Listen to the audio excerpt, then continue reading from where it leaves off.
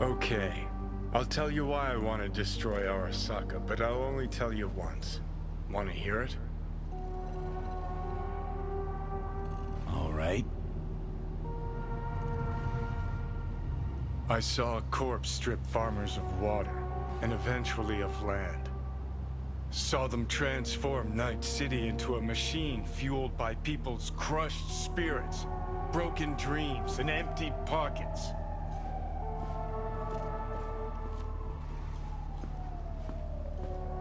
Corps have long controlled our lives, taken lots, and now they're after our souls.